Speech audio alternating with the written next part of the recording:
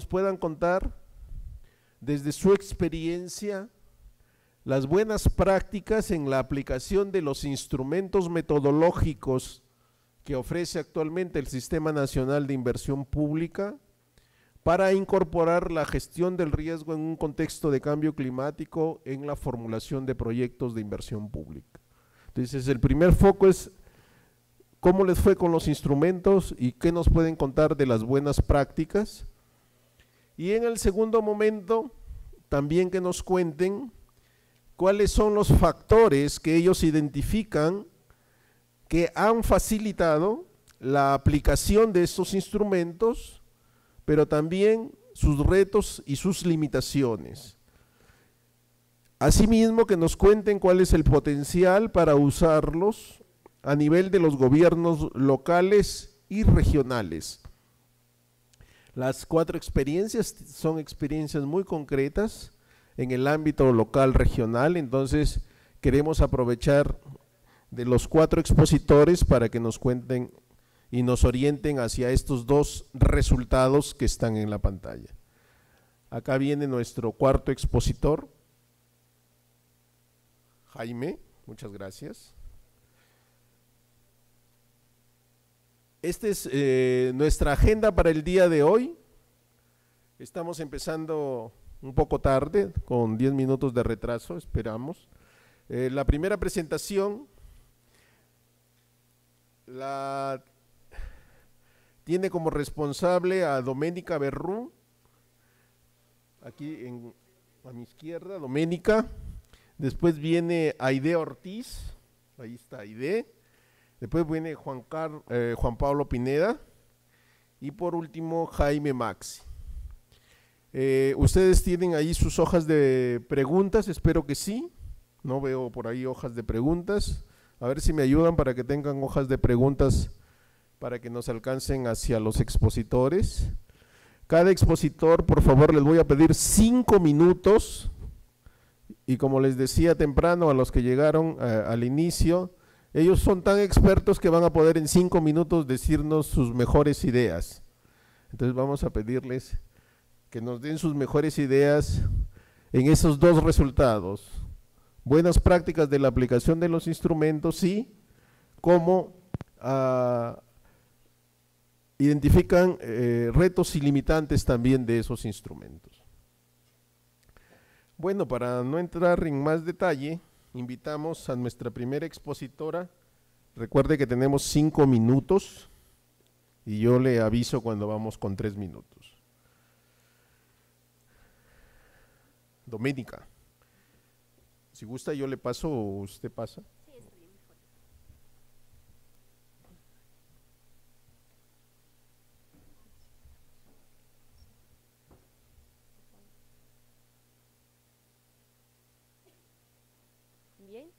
Bien, buenas tardes. Mi nombre es Doménica Berrú. Yo vengo desde el departamento de San Martín, específicamente Tarapoto.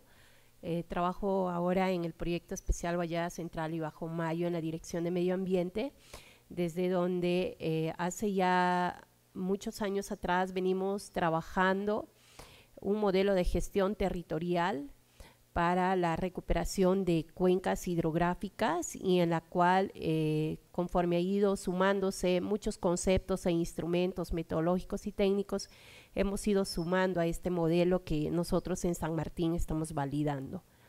Eh, he llamado a mi presentación Inversión en Infraestructura Natural en la microcuenca de Río Cumbasa, porque para nosotros es un modelo eh, bastante nuevo, quizás el primer proyecto en San Martín y tal vez en el Perú, en la cual estamos empezando a invertir en infraestructura natural. Eh, queremos demostrar con este proyecto, y voy a pasar esta parte del contenido de mi presentación, de que áreas como la microcuenca del Cumbasa, que tiene 57 mil hectáreas, eh, de las cuales más del 85% está degradado, según datos que tenemos desde el año, eh, el análisis del año 2005. Eh, nosotros hemos, a través de la zonificación ecológica económica que iniciamos entre el año 2009 2007 y 2009 en esta microcuenca, identificamos muchas limitaciones o el grado de deterioro que tiene esta microcuenca Para nosotros, en San Martín, el Cumbasa es una de las microcuencas más importantes del departamento porque alberga más de 200 mil personas y es el polo de desarrollo económico y social de nuestro departamento. ¿no? Ahí ven ustedes imágenes satelitales del grado de deforestación que teníamos desde, entre el año 77 al 2005. Fue alarmante cuando se hizo el análisis de deforestación en el año 2005 y nos dimos cuenta que más del 85% de la microcuenca estaba deforestada. En temas de caudales igual, eh, entre los años 77 y 85 teníamos eh, máximos de 13.5 metros cúbicos por segundo y mínimos de 6.05. Y entre los años 97 y 2005 teníamos mínimos de 2.3 y máximos de 7.98 metros cúbicos por segundo, ¿no? Datos que fueron muy alarmantes para, para todos nosotros y que sirvió para poner en la agenda de los gobiernos locales y también del gobierno regional.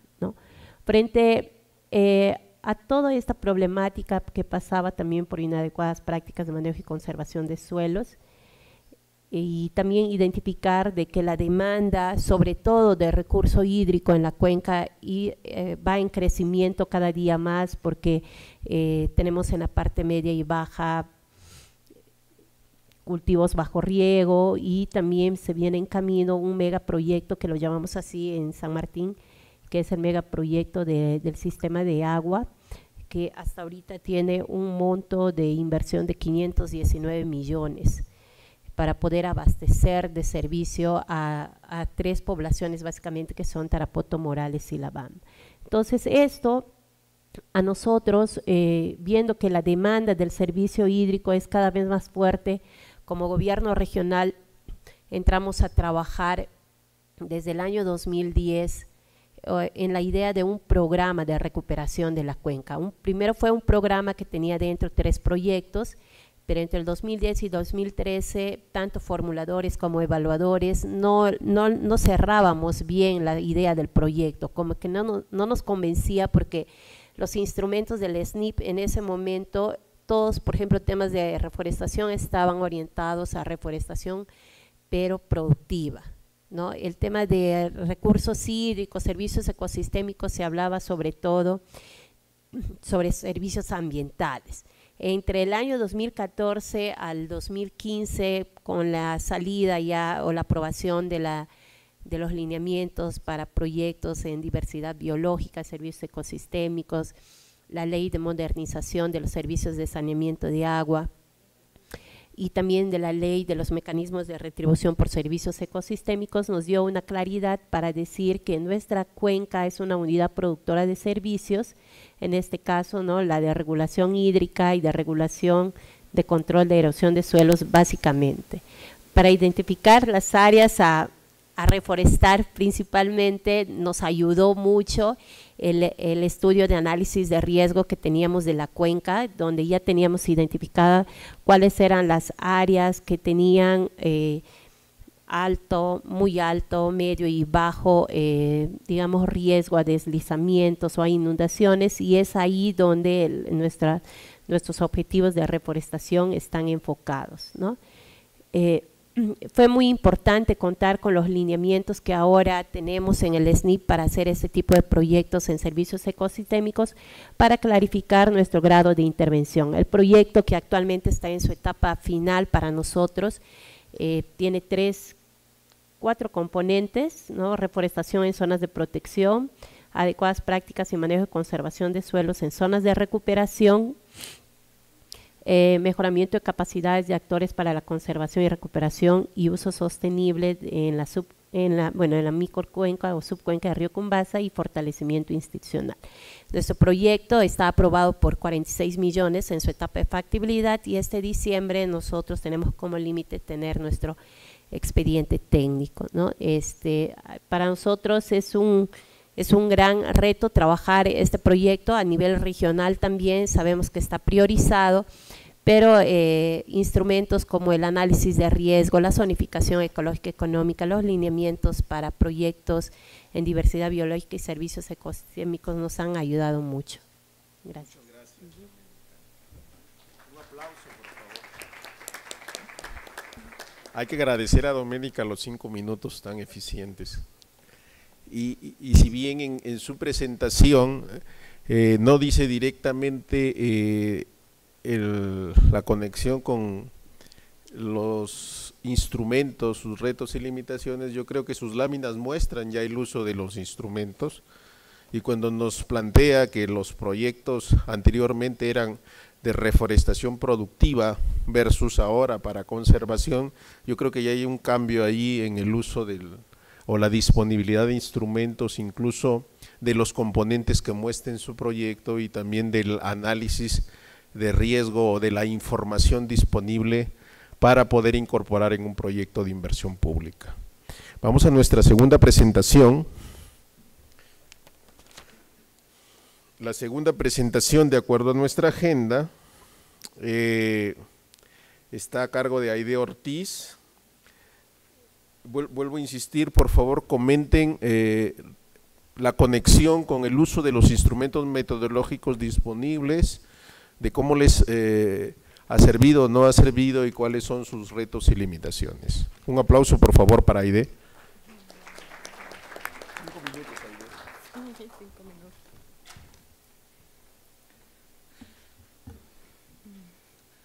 Muy buenas tardes a todos y todas. Reciban el, afectuoso saludo, de la región Cusco.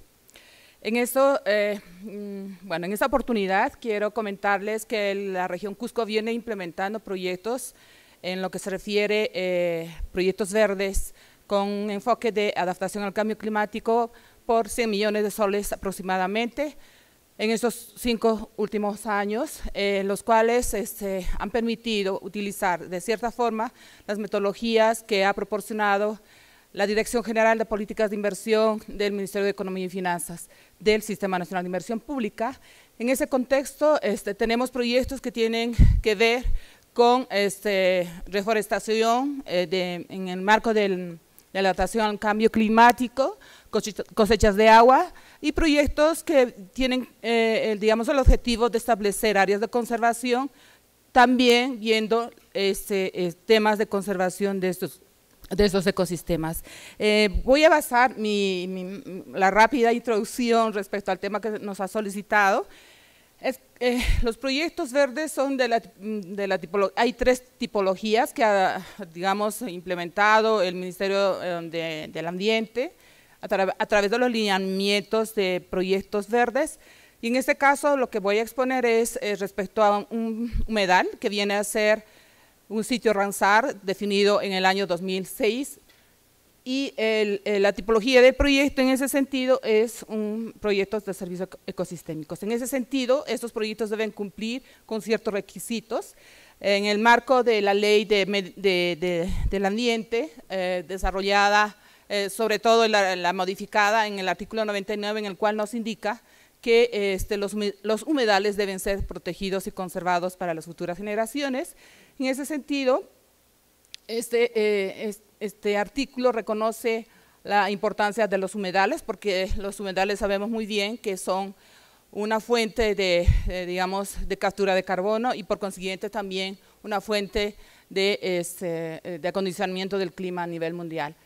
Entonces, por otro lado, los proyectos de esta naturaleza tienen que cumplir también una condición de no rivalidad, es decir, que una persona puede consumir a la vez, simultáneamente, y de no exclusión, es decir, no se limita el acceso al consumo de otros consumidores. En ese sentido, eh, eh, este sitio Ramsar tiene alrededor de 1.978 hectáreas y un perímetro de 20.5 kilómetros cuadrados, por consiguiente, además, ustedes saben muy bien que la región Cusco, en cada espacio que pueden ubicar, siempre vamos a encontrar restos arqueológicos y el, sitio Ransar de Huacarpay está ubicado en el Parque Arqueológico de Piquillacta. Eh, y eh, alrededor de, este, este, de, estas lagunas de, está, digamos, eh, varios vestigios incas que han sido asociados a este, a este sitio Ransar. Entonces, ah, uno de los instrumentos importantes para poder formular este tipo de proyectos es generar um, unos talleres de participación en el cual los usuarios de esa área, y hace un sitio natural, o este, una reserva paisajística puedan mencionar cuáles son los problemas que por el deterioro del, medio ambiente o de los servicios ecosistémicos de este área, del área natural puedan este, eh, empeorar su situación.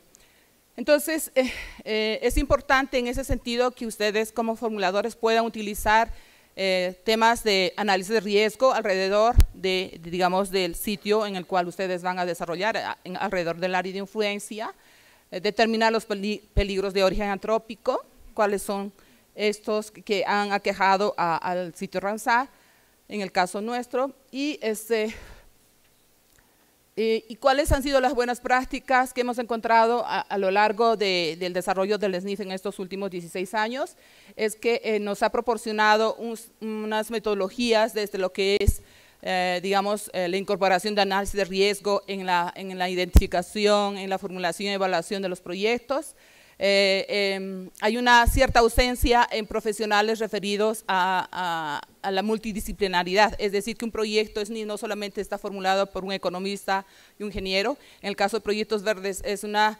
incorporación de profesionales, tanto biólogos, forestales, sociólogos, en el caso de estos proyectos hasta arqueólogos. Entonces, en ese sentido es importante que los proyectos tengan una multidisciplinaridad. Por otro lado, este, una, de las, restricciones que tenemos en los proyectos verdes es el, tema de eh, horizonte de evaluación de los proyectos verdes, normalmente lo determina que tienen un beneficio que va a generar solamente de 10 años. Sin embargo, sabemos muy bien, si nosotros recuperamos áreas degradadas, la recuperación de estas áreas no es solo de 10 años, pueden durar mucho más tiempo que lo que dice el sistema nada más. Puede ser 20, 30 o 50 años dependiendo del tipo de, área. Por otro lado, eh, es importante considerar que no existe información para poder determinar indicadores de calidad y cantidad referidos, por ejemplo, en, en, la dificultad que hemos tenido en el proyecto del sitio Ranzar es poder monitorear la calidad del recurso hídrico. Sabemos muy bien eh, que el humedal ha ido sufriendo una eutrofización a lo largo de los últimos años, pero no sabemos cuánto, en cuánto, ¿sí? en, en pHs, etcétera, en dureza, eh, eh, en carbono, etcétera, cuánto. Entonces, hay una ausencia de indicadores que nos permitan determinar el daño o el deterioro ambiental. finalmente, este, la parte académica, es decir, la universidad también eh, debe de incorporarse eh, en, poder proporcionarnos investigaciones para poder mejorar y fortalecer la formulación de proyectos en el marco de proyectos de tipologías verdes. Es, creo que eso es lo, más resaltante. Muchas gracias, Aide. Un aplauso, por favor, para Aide. Están cumpliendo el reto eh, de que en cinco minutos nos sintetizan su experiencia porque lo que yo les dije es que los que más saben de sus proyectos son ellos, entonces que hagan ese esfuerzo. La idea es que después tengamos tiempo a que ustedes les pregunten más, ¿sí? porque si no se nos acaba también el tiempo de, cerrar este eh, intercambio, que lo más importante también van a ser las preguntas que ustedes pueden eh, trasladar. Eh, más bien no veo que les pasan hojas de preguntas, si alguien me ayuda. Por, ronda con micrófono, ya, gracias.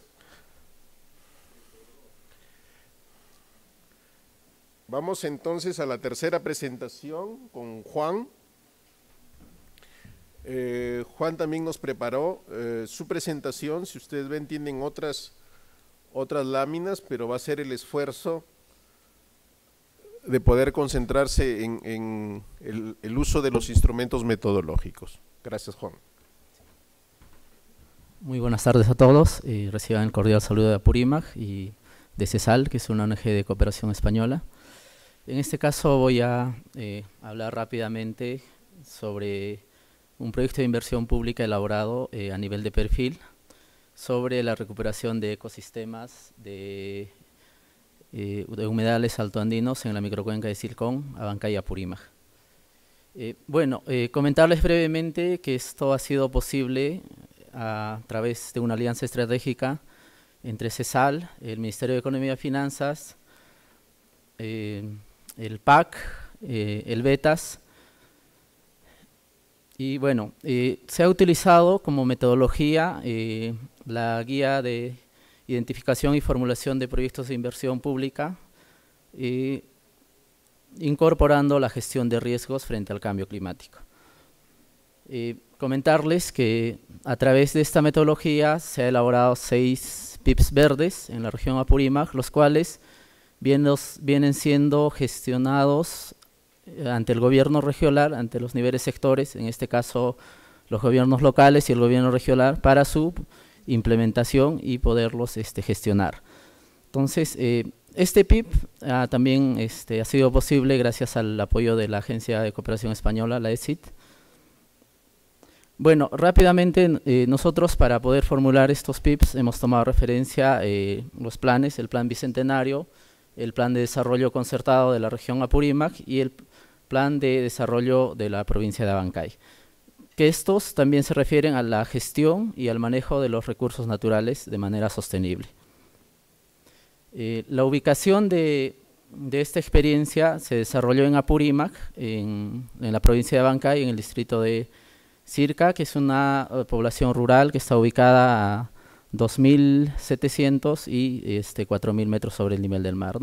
En este caso, el PIB específicamente es eh, el ámbito de influencia es em, los ecosistemas de humedales altoandinos, ¿no? que están sobre los 3.000 y 4.000 metros sobre el nivel del mar. Eh, vemos en esta imagen, eh, específicamente el PIB aborda el tema de servicios ecosistémicos referidos a la provisión de los recursos hídricos. Bueno, eh, el proceso metodológico aplicado en, esta, en la elaboración del PIB ha sido, en un primer momento, realizar el diagnóstico en el, área de estudio y la delimitación del área de influencia. Luego se ha desarrollado el diagnóstico de la unidad productiva. En este caso, eh, tenemos en, en esta microcuenca lagunas, riachuelos, manantes, bofedales, los cuales son los que proveen el recurso hídrico. Y los involucrados son la población, que este, utiliza este recurso para dos fines. ¿no? El primero es para uso consumo humano y el segundo para uso agrícola y un tercero para uso pecuario. ¿no? Bueno, esta es una ruta gráfica del proceso que hemos implementado. Y eh, bueno, lo que quiero indicar es porque la gestión de riesgo es básicamente el riesgo tiene relación con, con el peligro, la exposición y la vulnerabilidad. Y bueno, estos PIPs, em, PIPs verdes tratan de que este, una vez implementado el, eh, los proyectos tengan sostenibilidad en el tiempo. Bueno, voy a detenerme aquí eh, un poco sobre lo que se ha hecho más a nivel de la implementación de las herramientas.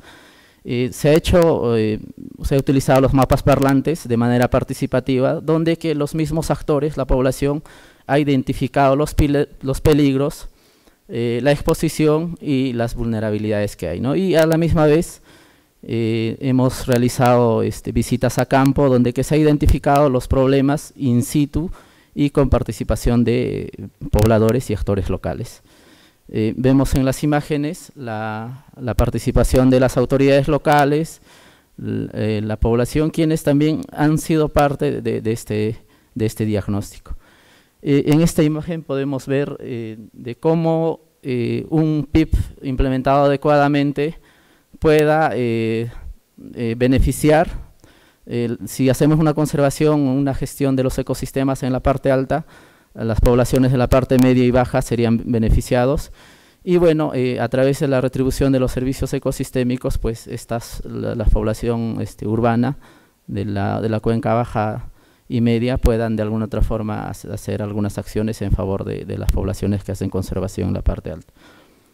Eh, bueno, esta es em, la problemática que hemos podido desarrollar y el planteamiento de acciones a partir de eh, la participación de, los actores involucrados.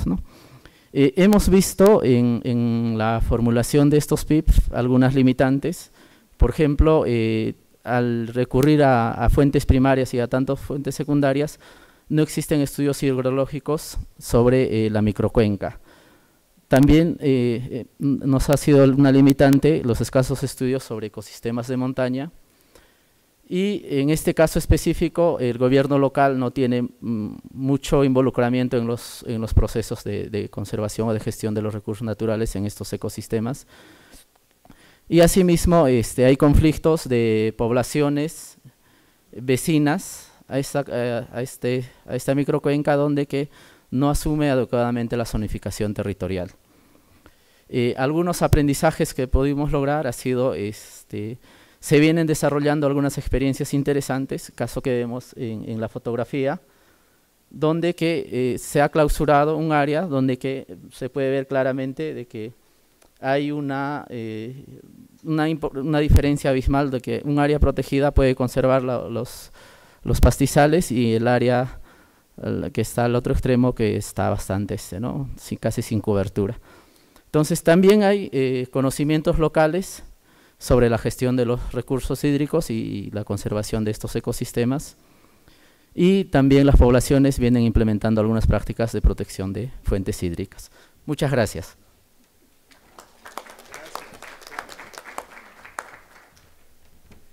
Agradecemos también a Juan por su, su manejo de tiempo y, y quizás resaltar que él, eh, menciona el uso de uno de los instrumentos que está disponible en, el sistema de inversión pública, que es el uso de los eh, instrumentos participativos. El mapa parlante es una opción para el diseño de los proyectos en la fase de diagnóstico, que es lo que resalta Juan en su aplicación.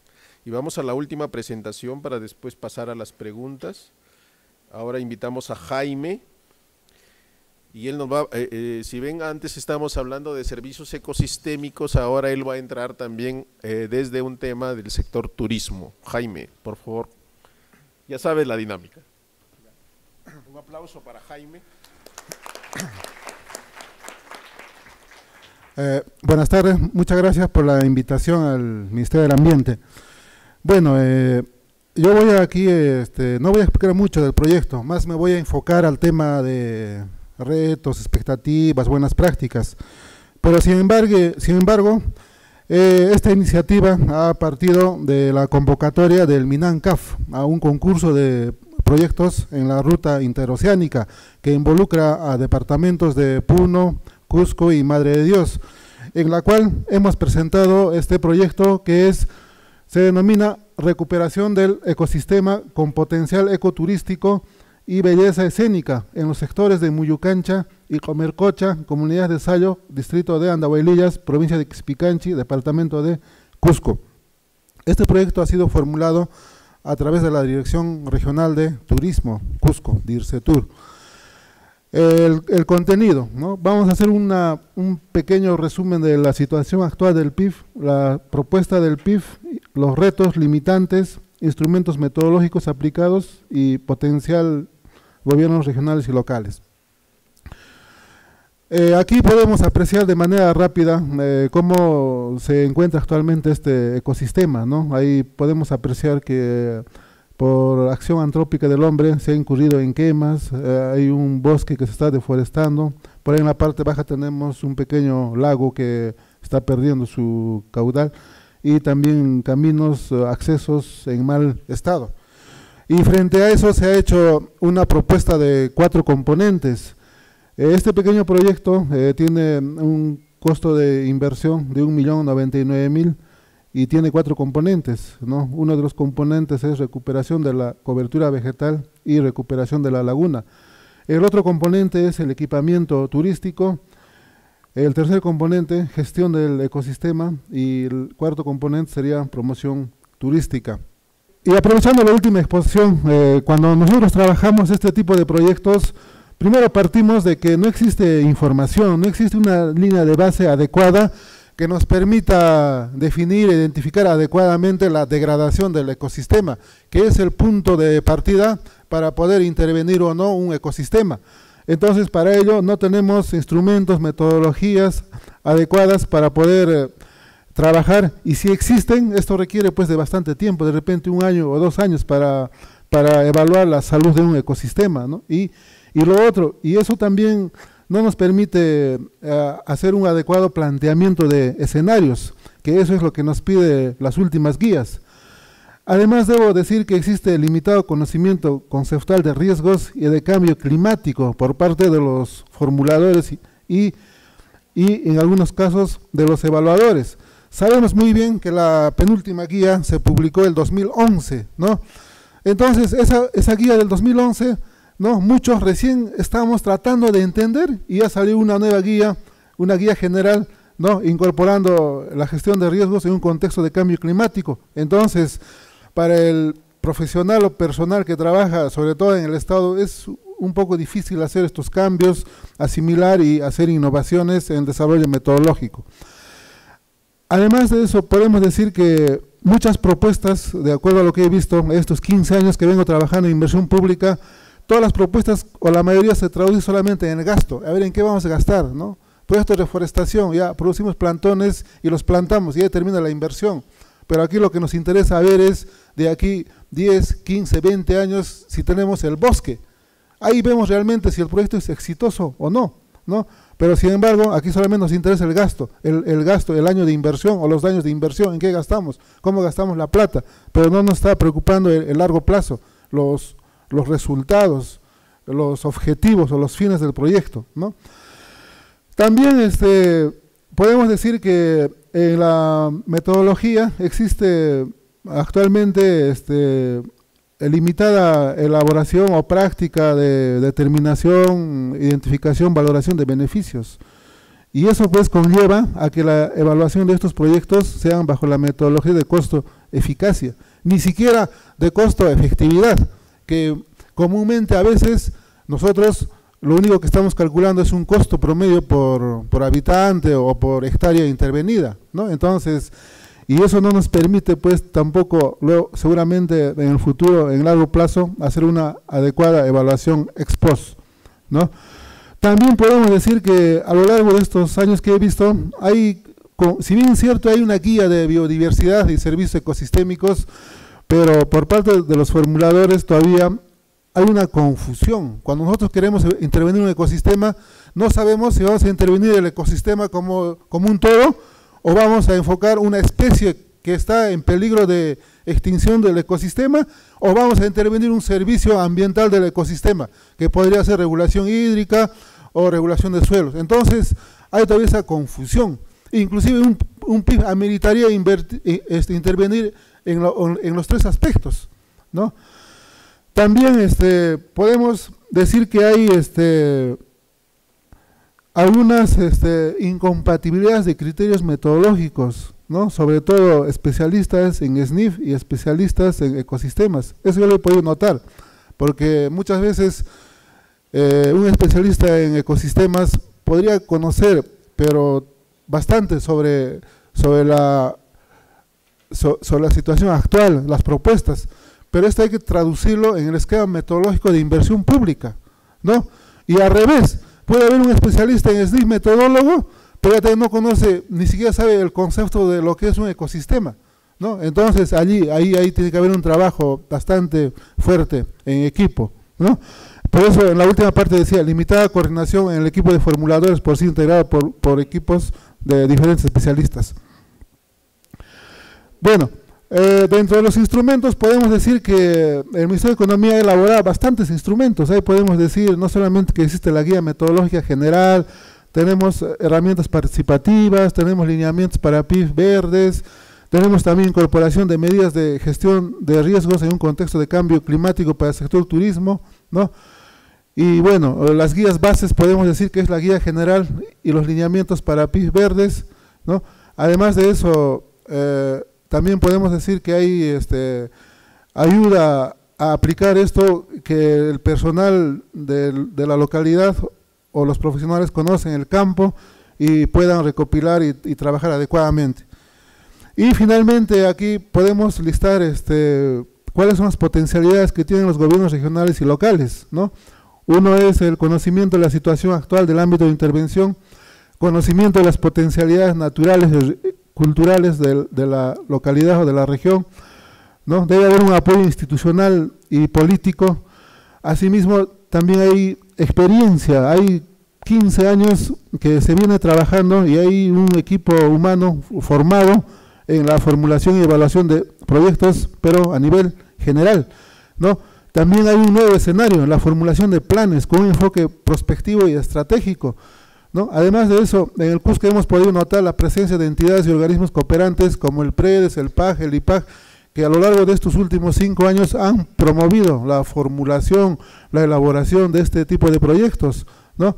Y además de eso, también aprovechando aquí, podemos, en esa línea de diversificar la oferta turística, es en sentido que también podemos plantear proyectos para el aprovechamiento del patrimonio natural. Y por otra parte también es importante la inclusión de la población en el manejo y cuidado del patrimonio natural y el involucramiento del sector privado que podrían ser a través de, los, de obras por impuesto en este tipo de proyectos. Gracias. Muchas gracias, Jaime. Bueno, Jaime se pasó unos minutos, ¿verdad? Violó la, Bueno, ahora tenemos la oportunidad de preguntarles a los cuatro panelistas. Aquí tenemos a Doménica, a Juan, a Aide y a Jaime. Eh, por favor, levantan la mano, hacemos una primera ronda de preguntas. la pregunta la dirigen a la persona que desean eh, que les responda y les alcanzamos el micro. Se presenta, por favor, cuál es su nombre y de dónde, de qué institución. Eh, eh, la pregunta, otro, otro detalle, por favor, la pregunta breve, si se pasa un minuto yo le corto. No se preocupe. este, ante todo, felicitar al panel de expositores y a los participantes. No tiene volumen, ¿le pueden dar? ¿Ya?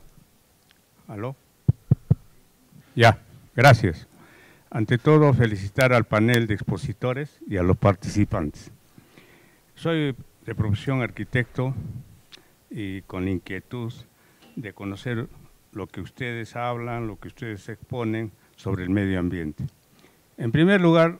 Eh, Su pregunta, por favor, porque estamos con poco tiempo. La, eh, ¿La pregunta cuál sería? ¿Cuál es la diferencia entre humedal o bofedal y laguna? Porque en los dos proyectos he visto dos espejos de agua. Y lo otro es eh, técnicamente cómo eh, se arregló el problema de la erosión en lo que se refiere a la agricultura que expuso la señorita. Muchas gracias, muchas gracias, por su pregunta. Otra pregunta, antes de pasarla, sí, por favor, ¿su nombre de usted? Dijo que era arquitecto, pero no dijo cómo se llamaba. Muchas gracias, Francisco. Bien, buenas noches con todos. Quien le habla es Fabio Casalino, yo pertenezco a la OEFA. Eh, mi pregunta va exactamente con la señorita ID. Eh, quisiera saber cuál fue el rol que tomó el gobierno regional cuando presentó el proyecto y encontró el percance del parque arqueológico, ¿no? Porque siempre en Cusco el problema que sucede con todos los proyectos es que chocan siempre con el Ministerio de Cultura. Entonces no sé si fue una traba o les ayudó, cómo fue la resolución del problema. ¿no? Muchas gracias. Gracias, Fabio. Otra pregunta, por favor. Ahí hay atrás una mano levantada. Bien, buenas tardes o buenas noches. Eh, soy José Ramiro Pacheco Arias del Gobierno Regional de Apurímac. Una de las cosas importantes que tenemos que ver en lo que es proyectos de inversión pública es la sostenibilidad. Eh, bueno, cada uno de ustedes ha presentado un proyecto ecosistémico, eh, muchos de ellos deben estar en el proceso de evaluación, seguramente van a tener muchas trabas para la viabilidad, otros ya tienen viables, pero sin embargo no he visto eh, el tema de sostenibilidad, debido a que generalmente pues tiene que estar digamos, tiene que haber un compromiso de una institución pública que tiene que hacer sostenible el, proyecto o también a través de la comunidad o de repente de las municipalidades distritales o locales. ¿no? Muchas gracias, José, por la pregunta. La sostenibilidad, les pregunta, ¿cómo la evaluaron? ¿Alguien más para pasar a los panelistas, por favor? Ahí hay otra mano. Y hacemos ahí un corte. ¿No hay otra mano? No. Su nombre, por favor. Buenas noches con todos. Me llamo Víctor, soy estudiante de la Universidad Católica de Santa María de aquí de Arequipa. Quiero consultar a todos los panelistas qué metodología de su PIB verde han usado y cuál recomiendan. ¿Cuál les parece más óptima? Algo así. Pues el volumen no se escuchó. Eh, hemos escuchado las cuatro proyectos de inversión pública verde que, han, que tiene cada, cada panelista. Yo quisiera saber qué metodología ha usado cada proyecto y cuál podrían recomendar. ¿Cuál recomiendan para un mejor uso? Muchas gracias. Una última pregunta y nos vamos. No se olviden que después del panel todavía tenemos una sesión plenaria para el resumen del día. Por favor. Y esperamos también a Roger que nos hace nuestro resumen del, de la mesa. Sí. Eh, me llamo Natalie y eh, soy de la Universidad Científica del Sur. Tengo una pregunta para el señor eh, Juan Pablo. Juan Pablo, ya. Este, él mencionó que su PIB se basa en la recuperación de los humedales y que los involucrados fueron la población y los actores locales. O sea, lo que quisiera saber es qué problemas tenía inicialmente los humedales y cómo logró que la población, los actores locales, si de alguna manera influenciaron a este problema, pudieran cambiar su chip para que funcionara el proyecto. Muchas gracias. Bueno, vamos ahora a dar el orden al revés. Empiezas eh, Jaime, después Aide, después Juan y termina Doménica en ese orden. Eh, ¿Nos puedes alcanzar un micro, por favor? Y máximo un minuto y medio para responder, por favor. ¿Ya? Por favor, con Jaime.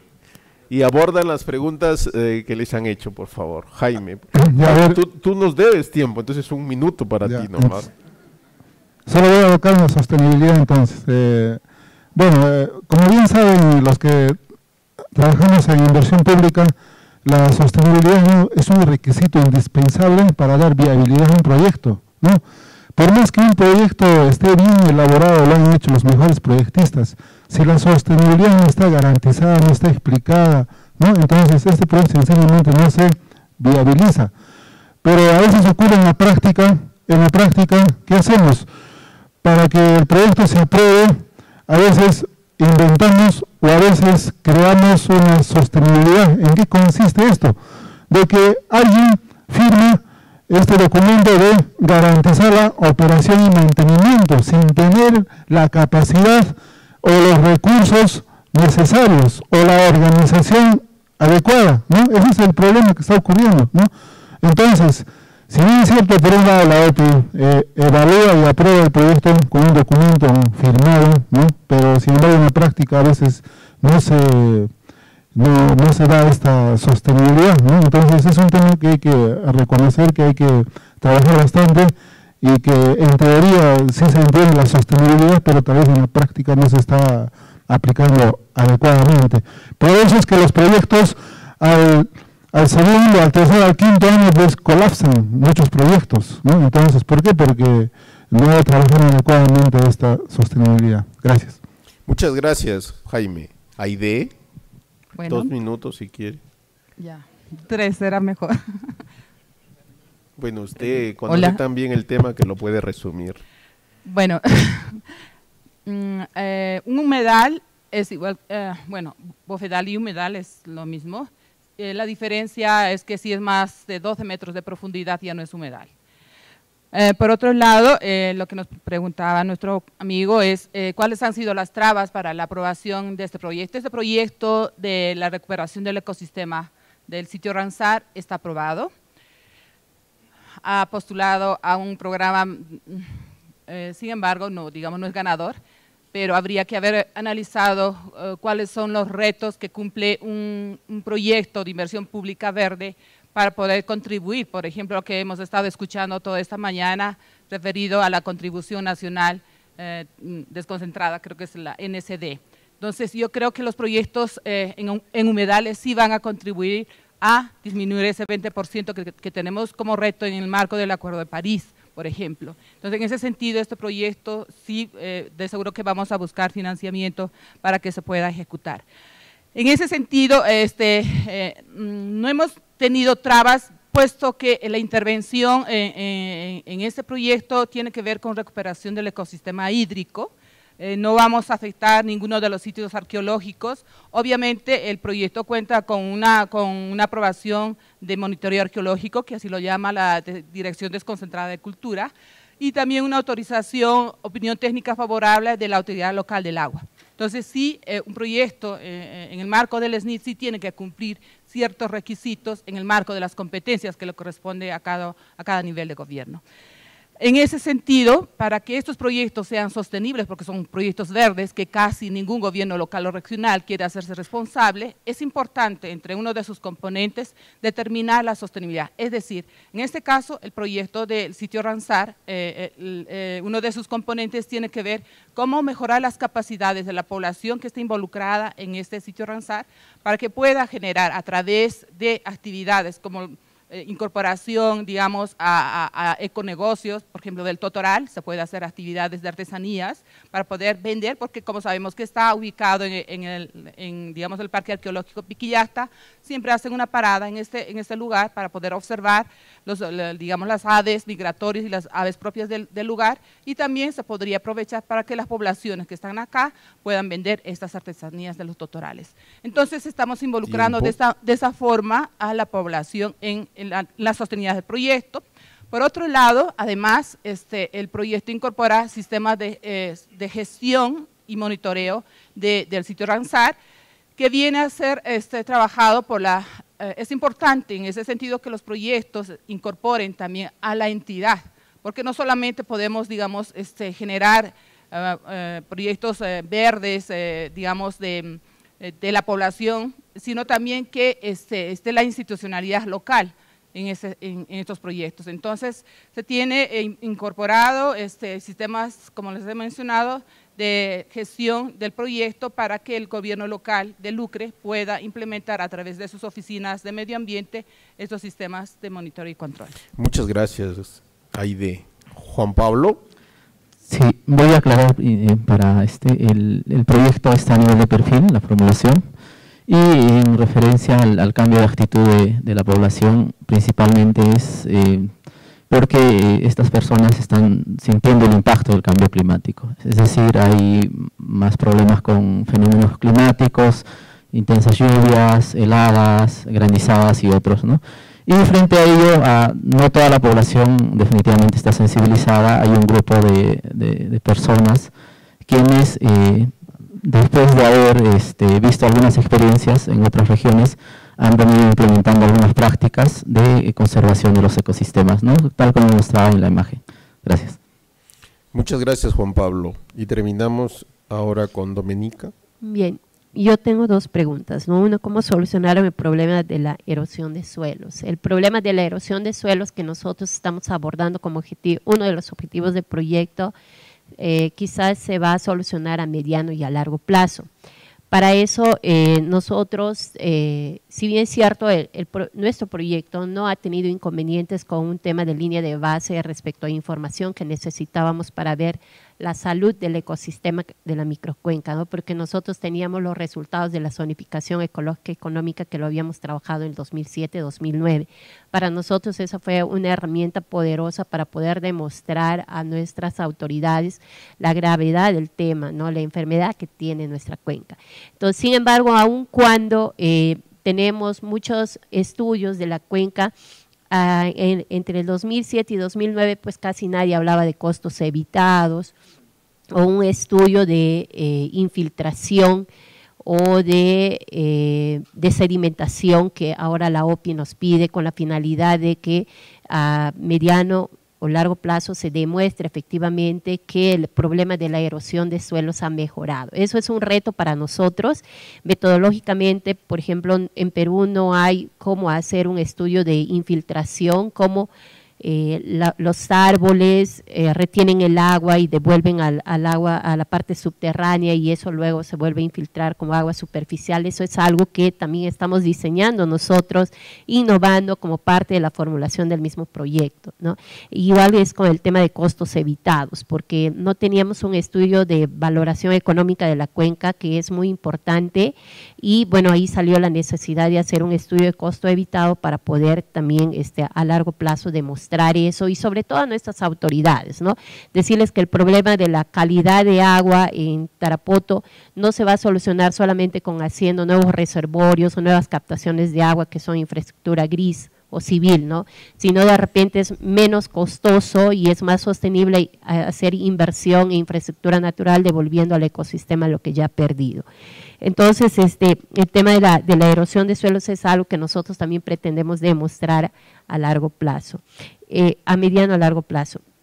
En respecto a la sostenibilidad del proyecto, nosotros nos hemos preocupado mucho por el tema de la sostenibilidad porque en Selva hemos ejecutado muchos proyectos de reforestación que efectivamente los proyectos ambientales de reforestación no son como proyectos de carretera, escuelas o postas que después que se entrega la obra ya vienen con sus presupuestos de mantenimiento para los médicos, los profesores o, se habilite la carretera si ésta se, se derrumba. ¿no? Entonces nosotros frente a esto, para nuestros proyectitos huérfanos, que los llamamos así porque nacen sin papá y sin mamá, nosotros hemos diseñado no una estrategia, sino un conjunto de estrategias.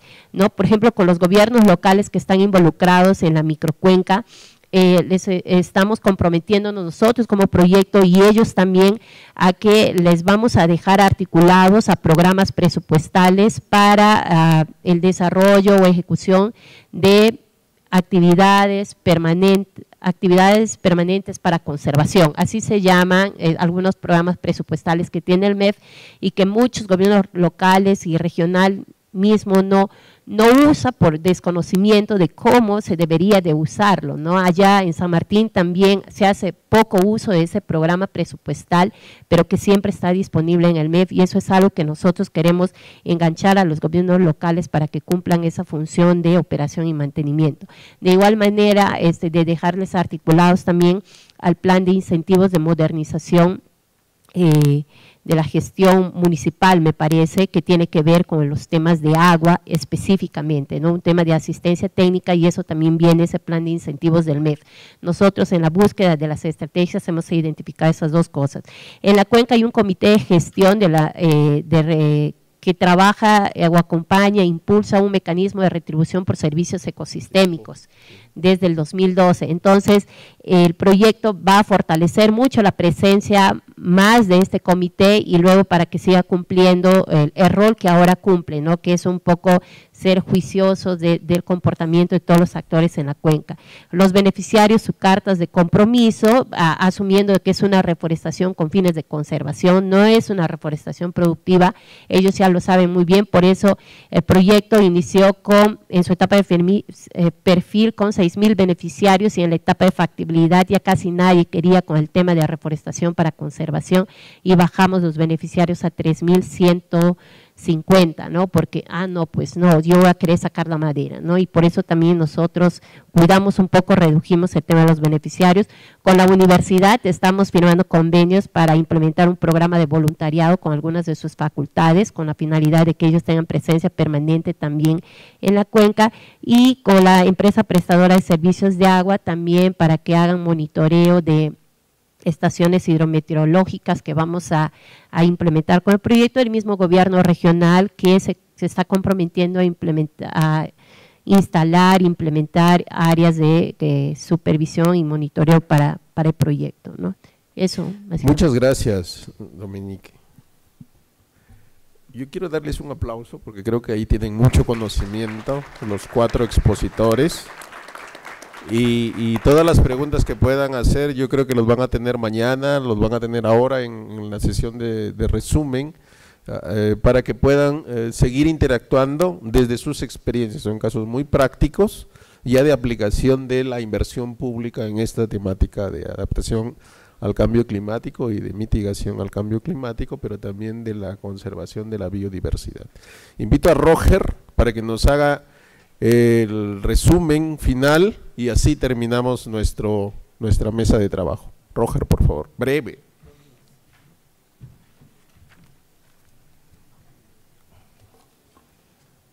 Ok, en dos minutos entonces.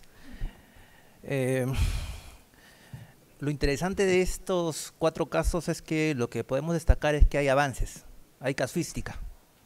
Y, aquí tenemos que eh, tener esa mirada de escalamiento. Esto, ese escalamiento, en este caso, de, de abajo hacia arriba. Hay casuística, esta casuística está enfocada en los PIB verdes, y sabemos que los PIB verdes recién se vienen implementando. Tenemos ya alineamientos que datan del año 2000, 2015. Eh, luego lo que se tiene que destacar también es que eh, esta casuística ha actuado sobre o ha, eh, ha trabajado sobre un marco de referencia existente, a sabiendas que el ente rector es el Ministerio de Economía y Finanzas, a través de la Dirección General de Inversión Pública el cual ya ha elaborado eh, guías metodológicas que ya incorporan la gestión del riesgo en un contexto de cambio climático en todo el ciclo del proyecto. Ese es el marco de referencia. Pero también tenemos que tener herramientas eh, que nos ayuden a, incorporar la gestión del riesgo. Y más aún si trabajamos en un ámbito muy localizado. Ahí destacaron mucho el tema de las herramientas participativas que también el MEF lo ha elaborado, las herramientas participativas que ayudan al diagnóstico, en este caso para el análisis de riesgo. Eh, lo que quiero destacar aquí con los avances, con, las cuatro experiencias, es que a través de la casuística lo que se busca es, el escalamiento. Los PIB verdes eh, recién se cuentan con lineamientos y se viene construyendo, hay una etapa de construcción aún, porque el siguiente paso ya es elaborar marcos conceptuales, pautas metodológicas, guías metodológicas, según lo que establece el MEF, y, a sabiendas de la variedad de ecosistemas que tenemos. Aquí han destacado los casos específicos en el caso de humedales, pero que estamos haciendo también en el trabajo con bofedales, con manglares y entre otros ecosistemas. O sea, imaginemos el, arduo trabajo que se tiene de aquí en, adelante. Eh, así como existen avances esos avances se traducen también en las fortalezas de, los gobiernos regionales. Esas fortalezas se ven traducidas, uno, en el, en el conocimiento de su territorio, la experiencia en sí que tienen sobre su territorio en la formulación de proyectos, eh, la formulación de, de planes de desarrollo. Allí había una limitante de cómo linkear el tema de inversión con planificación eso, por ejemplo, aún es una tarea pendiente. Ahí saco el mensaje de, Jaime, por ejemplo, que señalaba que la inversión solamente se traduce en gastos, pero realmente no estamos viviendo el impacto, la sostenibilidad de la intervención, ¿no? el, mantenimiento o la operatividad del servicio que se está dando. Eh, hay entidades que también han apoyado en este, en este, en este esfuerzo no solamente son las entidades gubernamentales, también son las entidades de cooperación técnica. Caso del PAC, eh, el proyecto IPAC, que han ayudado a, incluir estas consideraciones de cambio climático en el marco de la inversión pública. Y así como existen avances, fortalezas, también existen retos que es como la tarea, la tarea pendiente, la agenda, el trabajo a, a seguir continuando. Y que esto algunas de ellas que he podido extraer es que uno es, es aún continuar aclarando estos criterios entre dos vertientes. Por un lado, los, vamos a decirlo así, los esnipólogos, y por otro lado también los, aquellos especialistas que se dedican a la conservación de ecosistemas. Se tienen que homogenizar criterios de tal forma que se eh, adecúen al marco que establece el SNIP un minutito, ya, un, minuto. Eh, siempre la necesidad constante eh, de, la información, la información es limitada. Y más aún si hablamos de gestión del riesgo en un contexto de cambio climático, en PIB verdes, tenemos que saber el estado de salud de, los ecosistemas, los escenarios de cambio climático, entre otros. Eh, el tema de linkear la planificación con la, con la inversión y el de continuar eh, el de continuar fortaleciendo capacidades y allí lo que quiero destacar también es que por ejemplo la Dirección General de Inversión Pública ya cuenta con una estrategia de capacitación que ayuda a fortalecer conocimientos habilidades capacidades de los operadores SNIP con diversas esto, modalidades y que, y que se debe continuar promoviendo. Con eso concluyo. Gracias.